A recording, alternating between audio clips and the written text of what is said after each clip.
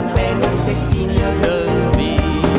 Et si la lueur s'échappe de ta main, laisse paraître.